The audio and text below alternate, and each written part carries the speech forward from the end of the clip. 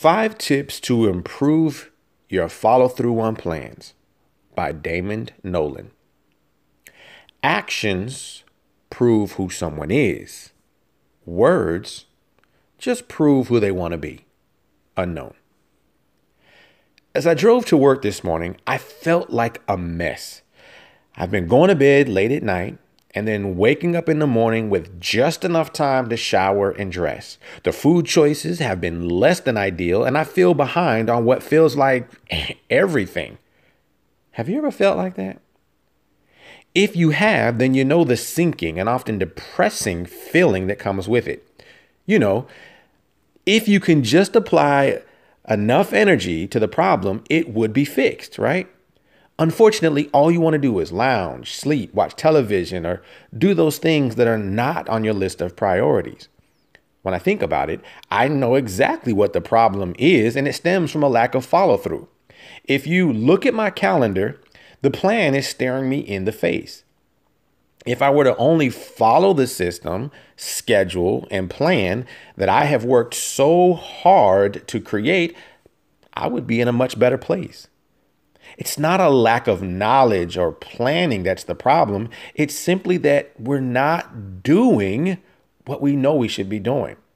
Maybe it's boring, difficult, painful, tiring, confusing, or simply just not fun to do. Shoot, why cut the grass when we could watch a football game instead? Come on.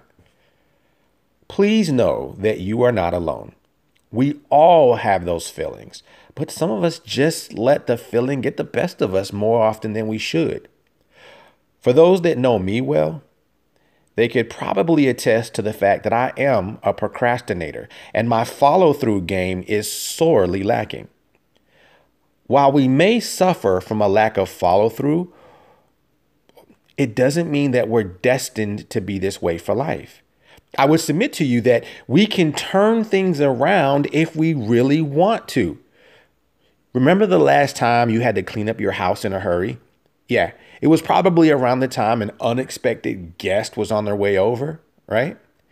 If you can clean your house in 10 minutes or less when a highly respected individual is coming over, why is it so hard to do it any other time of the day? It comes down to motivation and discipline. I know. How is that helpful, you ask? Well, we know that with the right motivation, we can do some pretty impressive things. However, it is discipline that will help you maintain the long term success of an action. So, you can either give in to the fact that you lack follow through, or you can make an effort to pull your life together. What will it be? Oh, so you've decided to keep on listening, huh? Good. That means you're ready to get things back under control.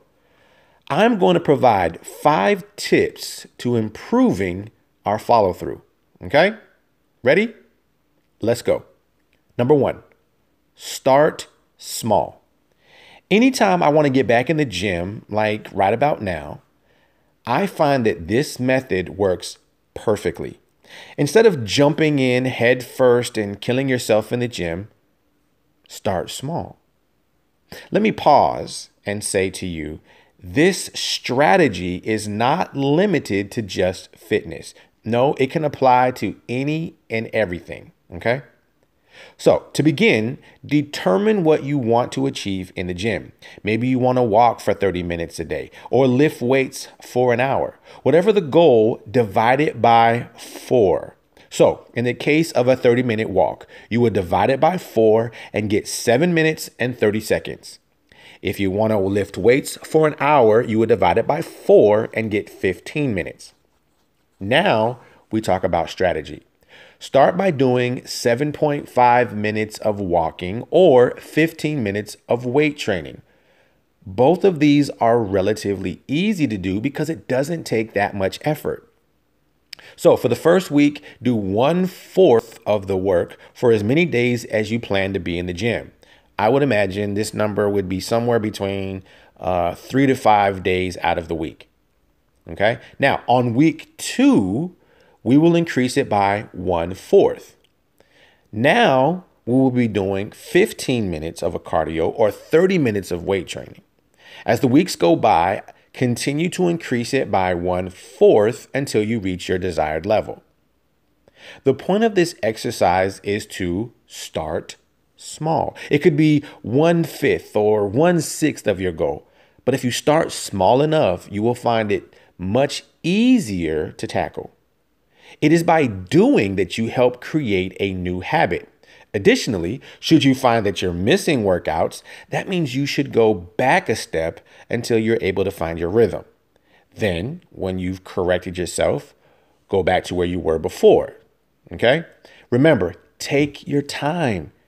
We are in pursuit of life changing, and we're going to do this for the long term. Okay? Number two, reward yourself. Making changes isn't always easy, but when you do follow through on your plans, reward yourself. Since we started our examples with the gym, let's continue for a little while longer. Let's assume that you just finished your workout. By now, you should feel exhilarated because you've finished something that was on your list.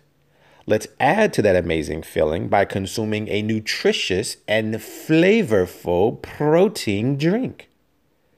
Pick a flavor that you enjoy and let it serve as a attaboy or attagirl for a job well done. Whatever you decide to use, just make sure it is sustainable and that it doesn't ruin your previous effort.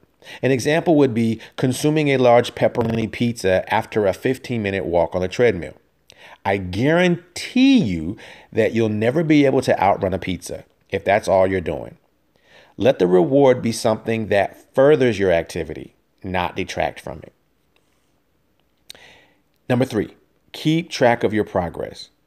One way to encourage continued action is by seeing results, be it in the gym or a weekly sales report. Find a way to measure your progress and compare it to previous weeks. Are you noticing a difference? Even if it's small, take notice of the changes that you're making. By competing against yourself, you will find a, a level and determination that will help maintain the activity. Number four, forgive yourself. While we probably have a long history of not following through on our plans, it is important to remember that we're not perfect something will happen. It invariably does. But the secret is to quickly forgive yourself for the mishap and keep it moving. It's when we beat ourselves up over a fall that we tend to stay there longer than we should.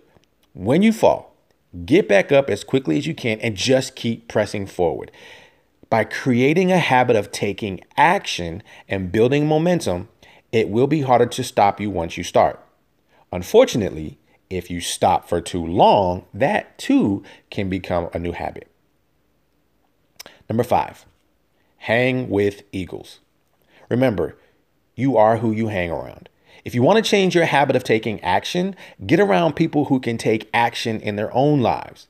As you spend time with them, you will find yourself inspired to get off your duff and go do the very thing you know you should be doing. Questions for discussion. I would love to hear from you. So, here are a couple of questions where you can leave them in a comment section. You can respond back to an email. Um, but I want to hear from you. Let's talk about your lack of follow through. Where are you struggling most? What have you tried? What worked well? What didn't? What are some of those things you want to get done but haven't? Go to damondnollan.com and to this particular article and scroll to the bottom and leave a message. Or, like I said, you can reply to email and let me know your thoughts that way as well. Share it. I hope you found value with this. And if so, please share it with someone who you think would benefit from, benefit from it as well. And then lastly, subscribe. If you like this kind of information and make sure you don't miss a single article, Follow this link to subscribe to my newsletter and deliver more content like this to directly to you. Again, you can go to damondnollan.com and you can see that little subscribe to my newsletter on the right hand side. All right, guys, it's going to do it for me. Have an amazing day. And until next time.